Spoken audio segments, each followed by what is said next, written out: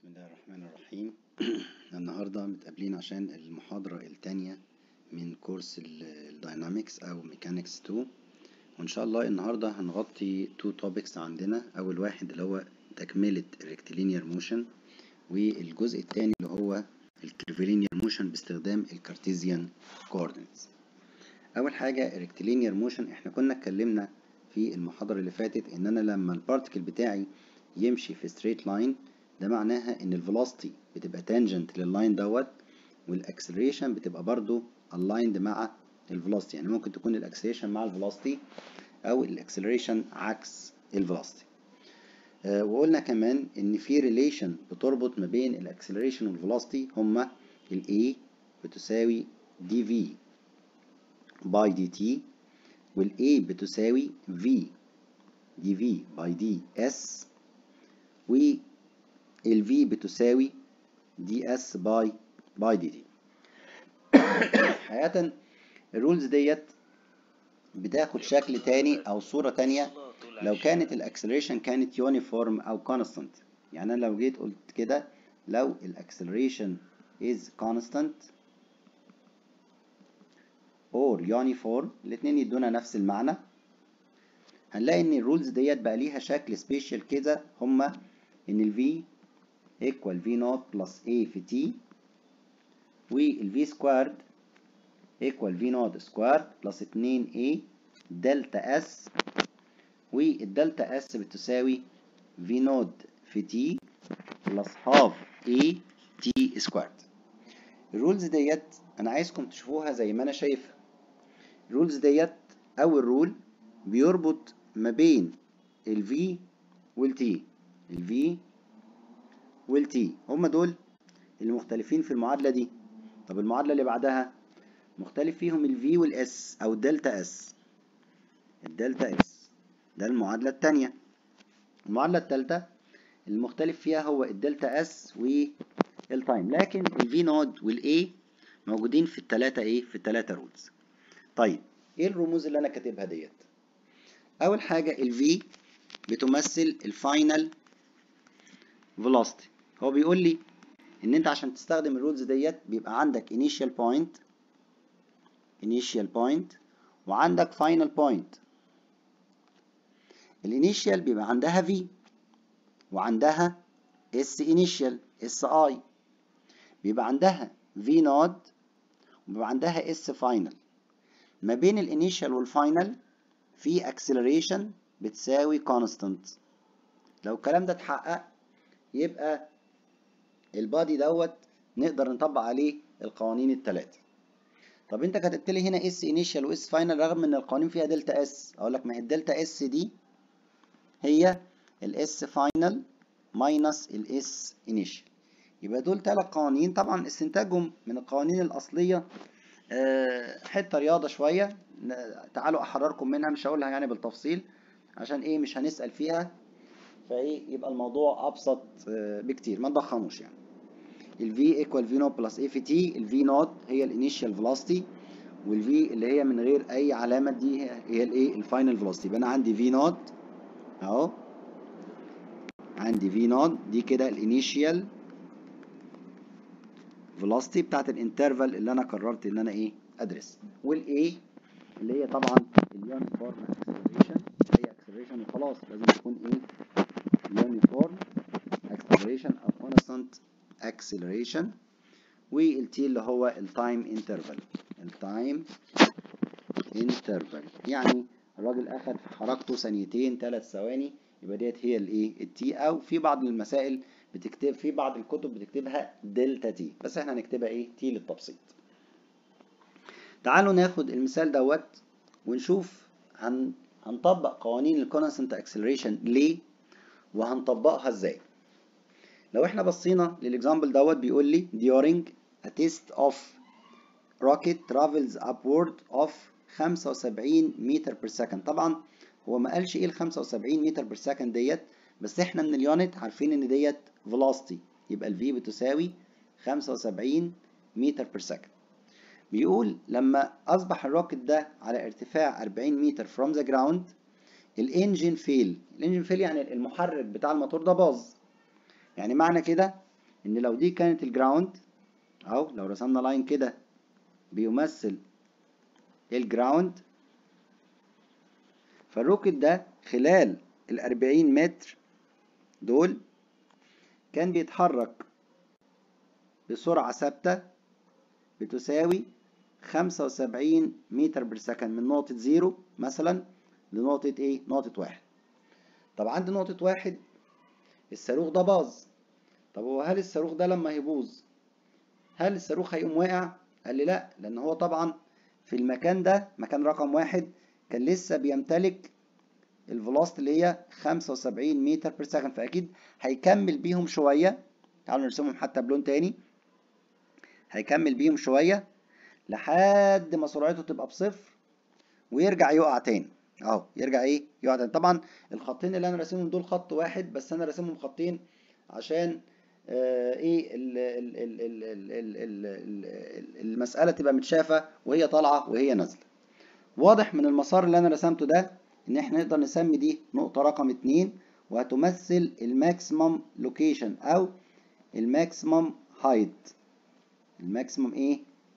ال maximum height وبعد كده الصاروخ ده رجع وقع خبط في الأرض عند النقطة رقم إيه؟ عند النقطة رقم 3 تعالوا نشوف إيه ال forces اللي بتأثر على الصاروخ؟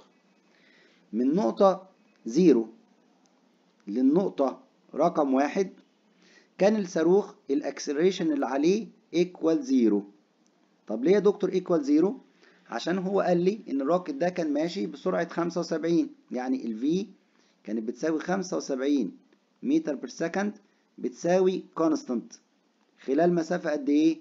خلال مسافة بتساوي 40 متر.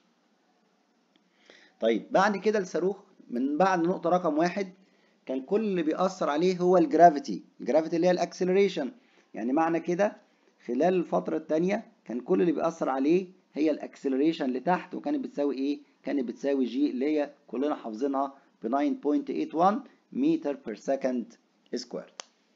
طيب هنيجي بعد كده نبدأ نشوف هو طالب إيه؟ تعالوا نترجم سوا. بيقول لي determine the maximum height. The maximum إيه؟ height. هو مسميها S B يعني نقطة 2 دي سميها S B يبقى هو عايز أقصى ارتفاع reached by the rocket. يعني إحنا لو جينا حطينا علامة لقصة أقصى ارتفاع هنقول إن المسافة دي كلها هي دي كده ال maximum height عايز يعرف الصاروخ طلع الارتفاع قد إيه؟ هو طالب ال maximum height يبقى بيقول لي determine هات لنا واحد. هات لنا ال maximum height اتنين. عايز سرعته just before hits the ground. عايز ال speed just before hits the إيه the ground. نحل مسألة constant acceleration إزاي؟ قال لي أول حاجة step 1 step 1 ارسم suitable. Draw suitable axis. Suitable axis. طب دلوقتي دي motion vertically. يبقى الطبيعي إن أنا هرسم ال Y axis إيه؟ هو اللي هيعبر عن ال motion يبقى ده كده هو مين؟ هو الواي اكسس والواي اكسس ده اخدت له origin عند الأرض. اهو ادي الأرض اهي دي كده إيه نقطة الزيرو. دي أول step تاني step قال لي translate the problem. ترجم المسألة بتاعتك. طبعا المقصود بالترجمة إن أنا أحول الكلام المكتوب لرموز. فإحنا لما جينا ترجمنا المسألة قلنا إيه؟ قلنا من المكان رقم zero. للمكان رقم واحد كانت ال acceleration بتساوي zero وكانت ال V بتساوي plus خمسة وسبعين متر per second وكانت constant طب ليه قلت plus لأن زي ما أنتم شايفين ال 75 اللي مرسومة دي مع ال Y خلي بالكم بقى إحنا هنمشي كل المسألة عن طريق ال Y اللي إحنا رسمناه. طيب من واحد لتلاتة. لي من واحد لتلاتة كانت ال acceleration بتساوي minus 9.81 متر per second square وكانت constant طب معلش هي ليه minus وبعدين ده أنا شايفه هو من واحد لاتنين كان طالع ومن اتنين لتلاتة كان نازل. أنا ماليش دعوة بطالع أو نازل. أنا بسألك ال acceleration دي كانت مع ال Y ولا عكس ال Y؟ دايما كانت عكس ال Y يبقى دايما minus و constant لأنها ما اتغيرتش. خلال حركتي من واحد لتلاتة قيمة واتجاه ال acceleration ما اتغيروش. طب إيه الترجمة الثانية ترجمة ال required هو قال لي find ال maximum height كلمة maximum height معناها ال Y بتاعت نقطة رقم 2 بس خلي بالك في مادة mechanics 2 لازم ال required يجر given لازم required يجر given وكل point على أي مسار motion أي point بتمتلك ثلاث حاجات. بتمتلك time T وبتمتلك location اللي هو اس أو إكس أو واي وبتمتلك velocity. تمتلك إيه؟ velocity V. فالنقطة رقم اتنين هو أصلا عايز ال Y S or x or y على حسب هو ماشي إزاي. فهو هنا عايز y. طيب تعرف ال time بتاع نقطة رقم اتنين؟ لا معرفش طب تعرف ال V بتاعت نقطة رقم اتنين؟ طبعا اعرف. سرعة نقطة رقم اتنين equal zero ليه؟ لأنه اقصى ارتفاع لو كان في سرعة كان طلع أكتر. طيب إيه كمان؟ قال لي طالب كمان السرعة قبل ما يخبط بالأرض على طول. نقطة خبطه في الأرض هي نقطة رقم 3 فهو عايز ال V 3 بكام؟ طب تعرف إيه عن نقطة رقم 3 تعرف زمانها؟ لا. تعرف مكانها؟ آه أعرف مكانها لأن هي رجعت ل origin ال Y. يبقى ال Y بتاعت نقطة رقم 3 equal إيه؟ equal 0 يبقى أنا كده ترجمت المسألة. الخطوة الأخيرة في الحل بيقول لي find suitable rule to join يربط the given with the required. With the إيه the required. بيربط الجيفن بالrequired طب ما تيجوا بقى نحل مسألتنا بالكونسبت ده. أهو ناخد خط كده عشان نحل المسألة بتاعتنا. أول required بيقول لي إيه؟ بيقول لي هات لي ال Y 2 بكام؟ لما كانت ال V 2 equal 0 طبعا أنا هنا هدرس من نقطة رقم واحد لنقطة رقم اتنين. بقت واحد دي initial واتنين إيه؟ واتنين final انهي قانون اللي يربط؟ أنا فاكر ان هما كانوا ثلاث قوانين. V equal V naught plus A في T V squared equal V naught squared plus 2 A delta S وال delta S equal V naught T plus half A T squared طبعا هنا القانون اللي مناسب أنا شايف إن مفيش time في الموضوع. يبقى القانون هيبقى مناسب إيه؟ V squared equal V naught square plus 2 A delta S ال V final هي V 2 ال V initial هي V 1 plus 2 في ال acceleration من 1 ل 2 في ال delta S اللي هي S 2 minus S 1 S 2 minus إيه minus S 1 لو جينا عوضنا فال V 2 ب zero ال V 1 كانت plus 75 الكل squared. بعد كده plus 2 ال acceleration بكام؟ ب negative 9.81 في ال S 2 minus ال S 1 اللي هي كانت بكام؟ كانت ب 40 واضح إن هنا جبت القيمة بتاعه S 2 يبقى أنا كده جبت إيه؟ ال S 2 المسافة عن الأرض. طيب السؤال اللي بعده تعالوا كده ناخد هنحتاج صفحة كده زيادة. نقول له insert page. أهو. السؤال اللي بعده السؤال التاني. ال required التاني. قلنا V 3 عايزها وعارفين إن ال Y 3 equal 0 واضح إنه نفس ال rule طب ندرس من فين لفين؟ أنا مثلا ممكن أدرس من واحد لتلاتة واحد تاني ممكن يدرس من اتنين لتلاتة إحنا الاتنين صح. هقول له V squared equal V naught squared plus 2 A delta S. ال V final هي V 3 ال V initial هي V 1 plus 2 ال acceleration من 1 ل 3 ال delta S هي S 3 minus S 1 ال V 3 بكام؟ ده أنا عايز أعرفها. squared. ال V 1 كانت plus 75 كل square plus 2 في minus 9.81 طب ال S 3 نقطة 3 عند ال origin. يعني zero. واحد كانت فوق ال origin ب 40 يبقى إيه؟ minus 40 واضح إن ال V 3 طلعت plus or minus ال square root. 75 square plus 2 في 9.81 في 40 جبت مين؟ جبت ال V 3 بس أنا حاطط هنا اشاره plus or minus آخد ال plus ولا آخد ال minus قال لي قال لي إن أنا هاخد ال minus طب ليه يا سيدي هاخد الماينس بصوا كده الفي 3 الفي 3 عكس الواي لما يجي يخبط في الأرض هيخبط عكس ال Y فمعنى كده إن أنا هاخد مين؟ هاخد الإشارة ال minus يبقى أنا هنا تاني رسمت الطريق بتاعي حددت ال data عليه ترجمت ال required وربطت بيه ال given بعد كده دورت على القانون المناسب من الثلاث قوانين اللي قدامنا. دي مسألة. طب تعالوا نمسك مسألة كمان. اهي المسألة ديت؟ يقول لي car is to be hoisted by elevator. عربية هتتنقل عن طريق أسانسير للدور الرابع. الدور الرابع ده كان على ارتفاع 48 قدم. يعني أنا عندي level 4 أهو تعالوا نرسم كده رسمة تفهمنا level 4 وده كده هنا level إيه level 0 المسافة ما بين 4 و 0 كانت بتساوي 48 feet 48 إيه؟ قدم. Above. Above إيه above the ground.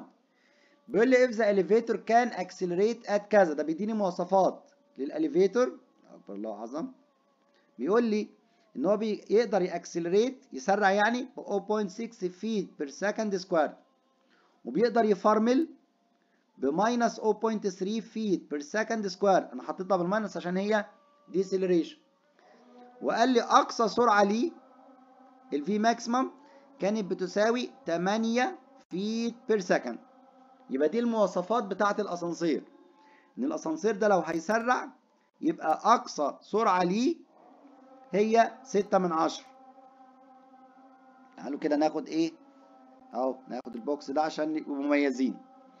ولو هو عايز يفرمل فأقصى فرامل هي minus 0.3 لو هو عايز يمشي بأقصى سرعة هيبقى 8 feet per second السؤال بتاعه ذكي جدا. بيقول لي إيه بقى؟ بيقول لي determine the shortest time. عايز أقل وقت. To make the lift.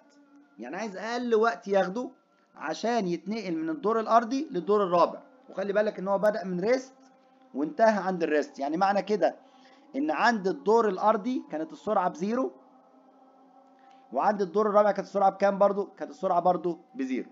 يمشي إزاي؟ ال logic بيقول إن أنا همشي بأقصى سرعة. بس انت هتوصل لأقصى سرعة إزاي؟ قال لي بأقصى acceleration يعني أنا لو افترضنا إن المكان ده هو المكان بتاع أقصى سرعة كانت ال V بكام؟ ب 8 feet per second من المكان بقى رقم واحد للمكان رقم اتنين مشي ب acceleration من واحد لاتنين هي أقصى قيمة لل acceleration feet per second square يبقى هو داس بنزين على الآخر وهو في الدور الأرضي لحد ما وصل لسرعة كام؟ 8 هل وصل؟ لا مش شرط. قال لي فخلاص هيمشي شوية. بالسرعة 8 دي. يبقى واضح إن السرعة من 2 ل 3 كانت constant ال V is constant يبقى معنى كده إن ال acceleration من 2 ل 3 كانت بإيه؟ ب zero. عند أقصى سرعة سرعته ما زادتش. أول ما لقى نفسه قرب من الدور الرابع قام فرمل بأقصى فرامل عشان ينزل بقى من 8 ل 0 تاني. فحط acceleration من 3 ل 4 دي نقطة 4 بتساوي minus 3 من 10 feet per second square يبقى واضح إن هو استخدم أقصى طاقته في التسريع وأقصى طاقته في الفرمله وأقصى سرعة عشان يحقق إيه؟ minimum time يبقى المطلوب مني إن أنا أحدد ال time من واحد لأربعة بال behavior اللي أنا رسمته ده. طب تعالوا هندرس أول حاجة من واحد لاتنين من واحد لإيه؟ من واحد لاتنين. من نقطة واحد لنقطة اتنين قلنا إن ال V واحد كانت ب zero وال V اتنين كانت بتساوي تمانية. وال acceleration من واحد لاتنين كانت بستة من عشرة. أنت عايز time يبقى V equal V naught plus a في t ال V final هي 8 ال initial قلنا 0 ال acceleration كانت 6 من 10 في ال time من 1 ل 2 من هنا يبقى ال time من 1 ل 2 بيساوي 8 مقسومة على 6 من 10 ب second. ده كده ال time طب تعالوا ندرس كمان من 2 ل 3 من 2 ل 3 هنلاقي فيه مجهولين. من 2 ل 3 هنلاقي فيه مجهولين. المجهول الأولاني بصوا كده من 2 ل 3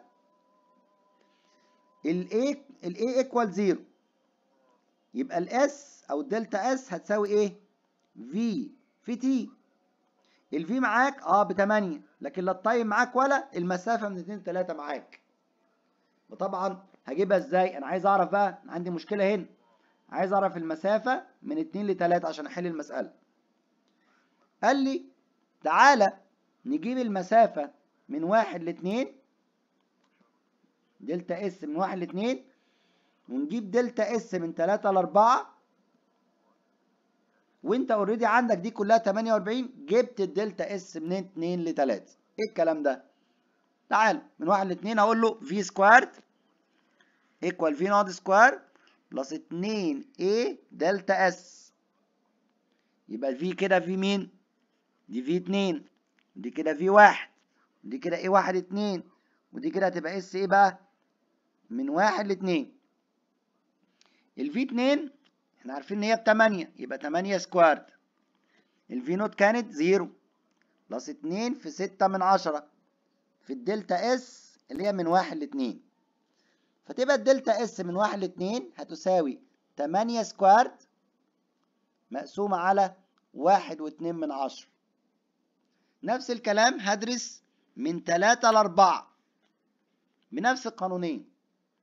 هقول له v equal v nought plus a في t ال v final هي v 4 كانت ب zero ال v initial v 3 هي 8 plus minus 3 من 10 عشان دي كانت أقصى فرامل في ال time من 3 ل 4 جبنا ال time من 3 ل 4 هيساوي 8 على 3 من 10 يبقى ده كده أول time من 1 ل 2 وأدي آخر time من 3 ل 4 نجيب المسافة كمان عشان نحتاجها.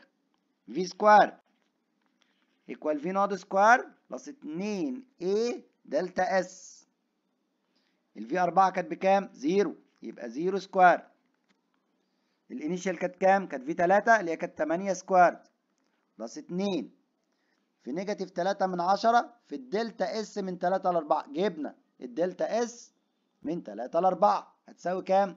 8 square على 6 من 10 نيجي بقى ندرس من 2 ل 3 نقول له إيه بقى؟ نقول إن ال delta s من 2 ل 3 بتساوي v في t من 2 ل 3 الدلتا اس من 2 ل 3 اللي هي ديت هتساوي 48 minus الاثنين التانيين. يعني minus delta s من 1 ل 2 و minus delta s من 3 ل 4 equal 8 في ال time من 2 ل 3 جبنا ال time أقول له بقى يبقى ال total time اللي أنت عايزه هو مجموعهم بقى. هيساوي ال time من 1 ل 2 زائد ال time من 2 ل 3 زائد ال time من إيه؟ من 3 ل 4 دي كده مسألة كمان عن إيه؟ عن ال constant acceleration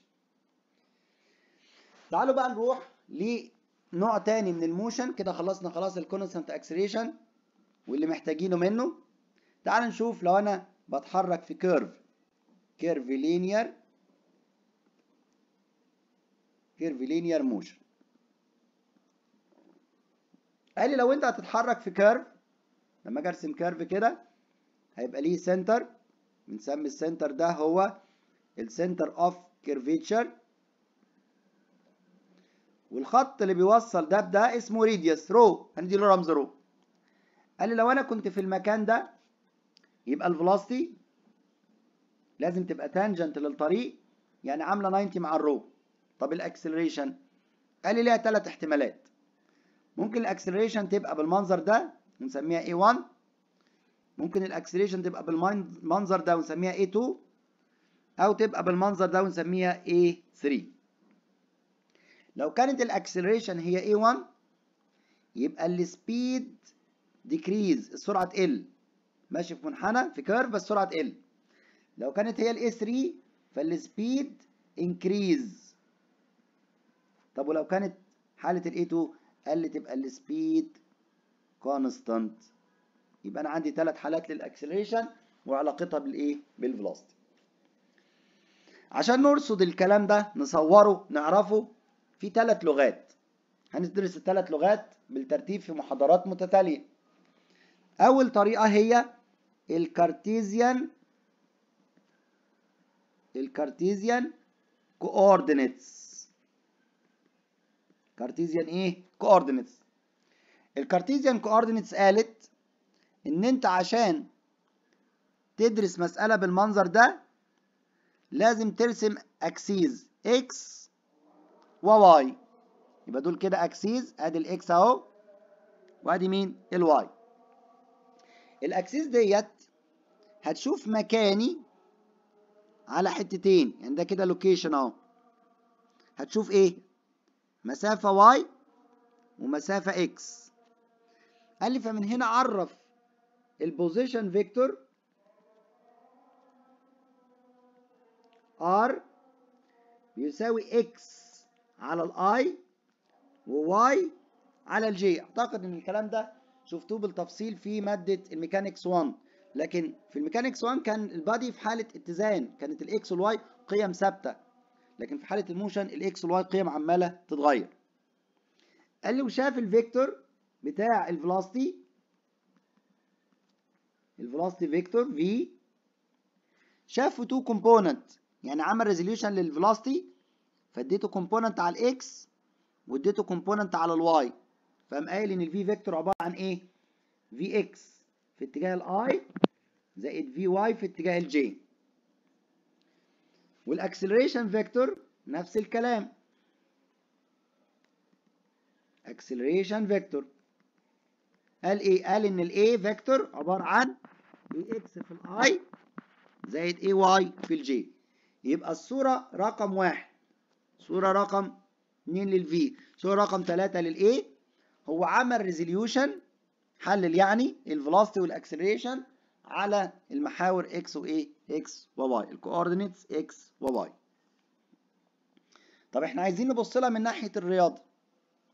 قال لي من ناحية الرياضة الفي الفي هي ديريفيتيف البوزيشن بالنسبة للتايم يعني معنى كده هيبقى dx by dt في ال i زائد dy by dt في ال j ال dx by dt ده اللي هو x dot وال dy by dt اللي هي y dot من هنا ال v بقت عبارة عن x dot في ال i زائد y dot في ال j أخدت صورة ثانية أهي صورة derivative طب ما هي ال acceleration عبارة عن ال dv by dt فهتدينا إيه بقى؟ هتدينا d squared x by dt squared في ال i وهتدينا d squared y by dt squared في ال j دي مين؟ قال لي دي ال x double dot وديت قال لي ال y double dot فمن هنا ال acceleration بقت x double dot في ال i زائد y double dot في الايه في ال j يبقى ملخص الكلام إن ال Cartesian coordinate شافت ال velocity بصورتين يا إما v x و v y يا إما x dot y dot. شافت ال a بصورتين يا إما a x و a y يا إما x double dot y double dot طب الكلام ده هنشوفه إزاي في المسائل؟ تعالوا نشوف المسألة ديت هتتكلم إزاي. ولا بلاش ديت تعالوا نحل دي الأول. مسألة مباشرة أهي. بيقول لي إيه؟ بيقول لي the velocity of particle is v بتساوي ادانا v اهي بتساوي 3 i plus 6 minus 2 t في ال j بيقول لي خلي بالك التي دي تايم والار كانت بزيرو لما كان التايم بزيرو تعالوا نكتبها. الار فيكتور كان بزيرو لما التايم كان بزيرو دي معلومة. عايز إيه؟ بيقول لي determine طالب. ال displacement افتكروا معايا رقم زي ال displacement كان إيه كان delta s لا هنا يبقى اسمه delta r ده كده رمز. ال displacement ده بيساوي ال r final طبعا هو عايز من خلال time 1 time 3 هي ال r final minus ال r initial طبعا ال r final هنا يعني لما كان ال time بتلاتة وال initial لما كان ال time بإيه؟ بواحد. ده هو ال required بتاعه. احلها إزاي؟ قال لي بص بقى. لو هو مديك لك ال r هتعمل لل r ديت derivative بالنسبة لل time تجيب vector ال v لو عملت derivative بالنسبة لل time مرة تانية هتجيب vector ال a يبقى انت كده عندك طريق. من الار تجيب الفي ومن الفي تجيب الاي طب لو مشيت العكس قال لي لو مشيت العكس تعمل integration تعمل إيه؟ تعمل integration طب أنا فين من الخريطة اللي أنا رسمتها ديت؟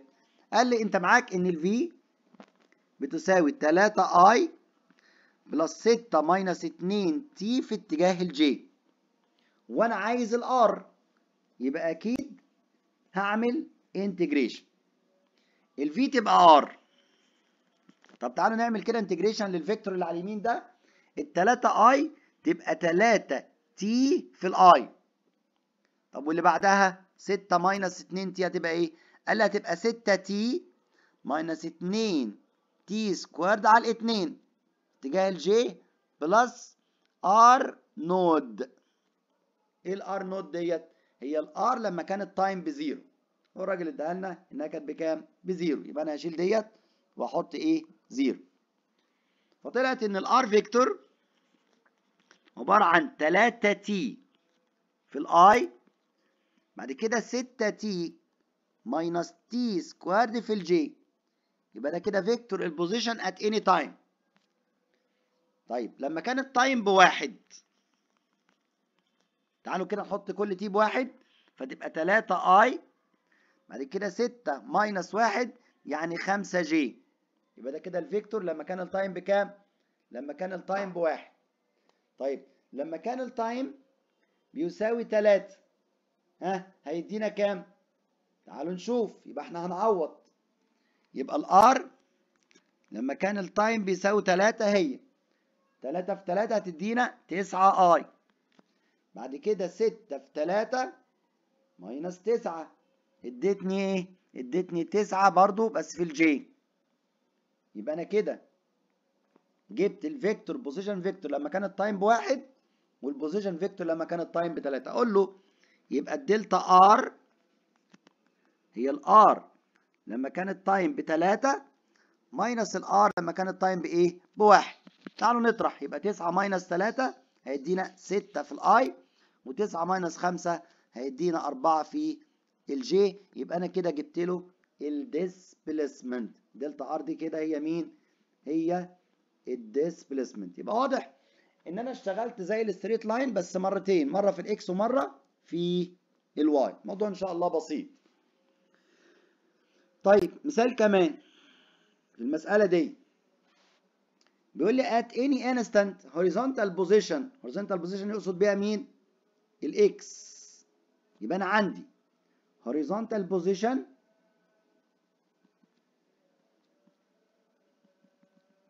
اللي هو بيمثل عنه ال x وفي vertical position اللي هو مين؟ اللي هو ال y وفي path equation. إيه ال path equation ديت؟ قال لي دي ال y function في ال x شكل الطريق اللي أنا همشي عليه. طيب بيقول لي بقى إيه؟ ال givens يقول لي خلي بالك إن ال horizontal position x بيساوي 8 t تعالوا كده نعملها تظليل بالأصفر. أهي.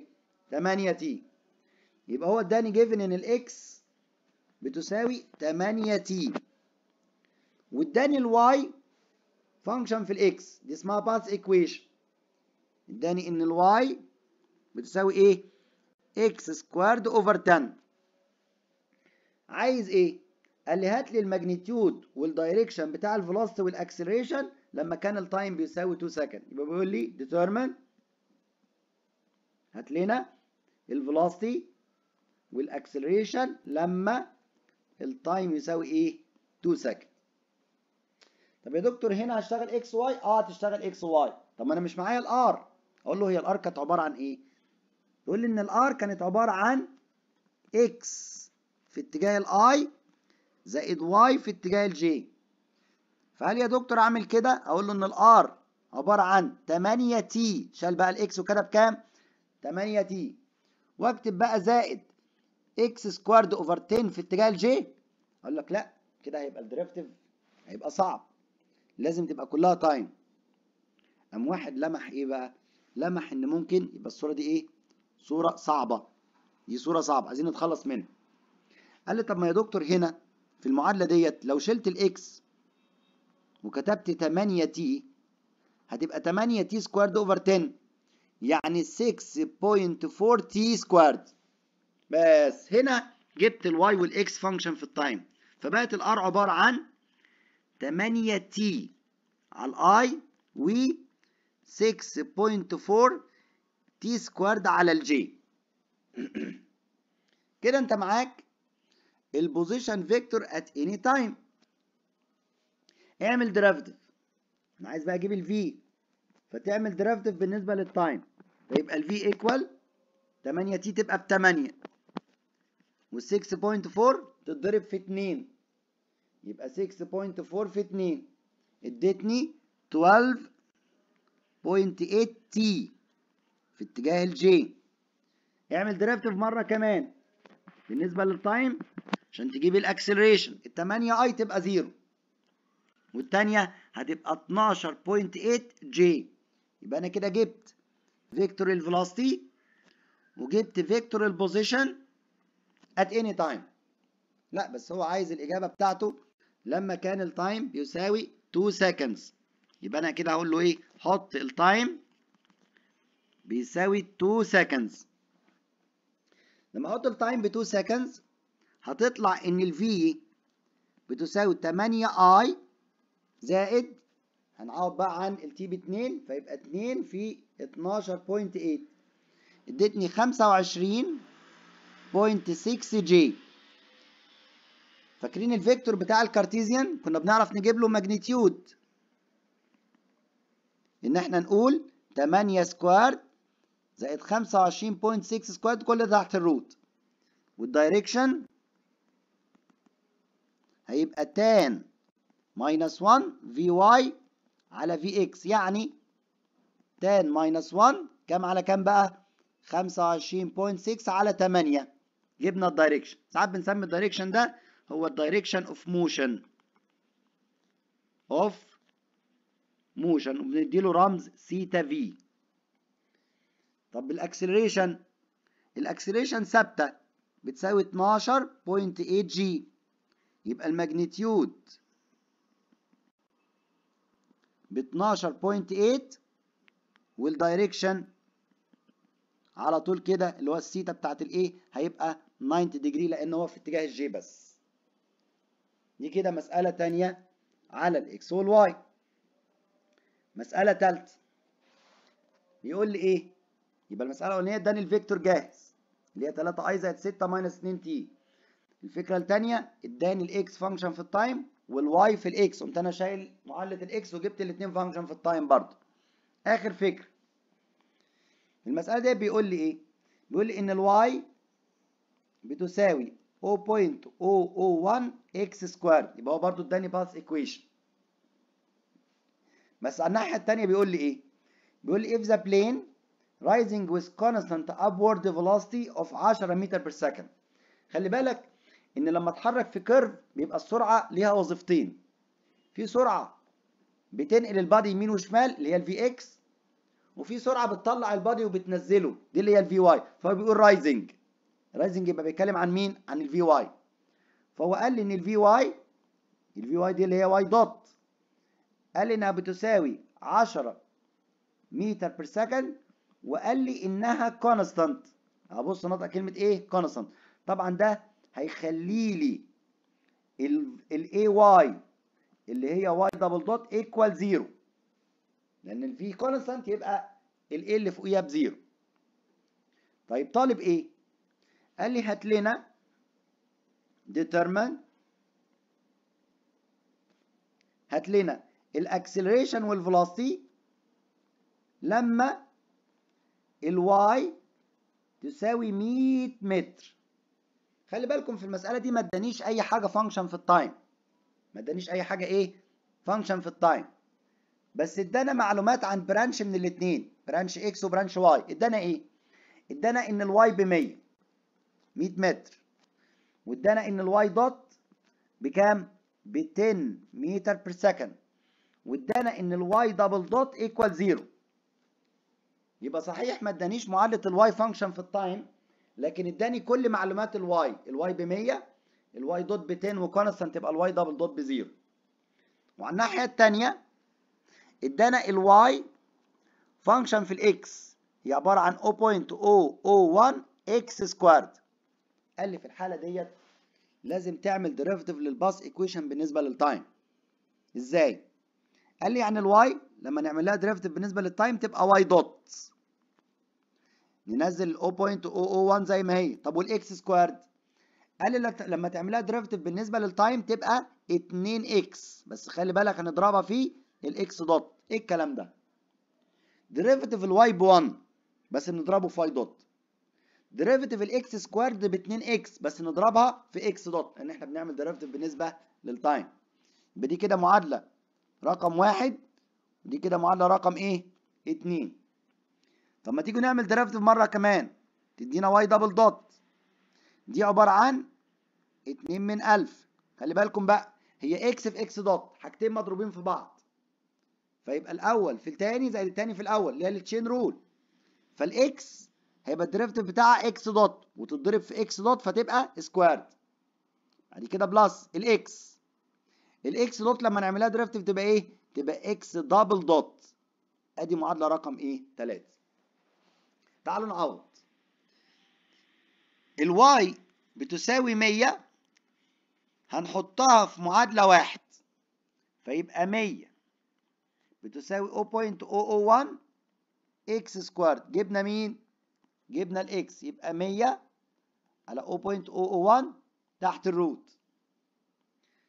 وهنمسك ال y dot اللي هي ب 10 ونحطها في equation 2 فيبقى 10 بتساوي 0.01 في 2 في ال x اللي إحنا جبناها في ال x dot من هنا جبت مين؟ ال x dot طلعت. المعادلة الثالثة هحط ال y double dot ب zero في معادلة 3 يبقى zero هتساوي 0.002 x dot squared إحنا already جبناها زائد x في x dot ال x آه معانا بس ال double dot ب zero.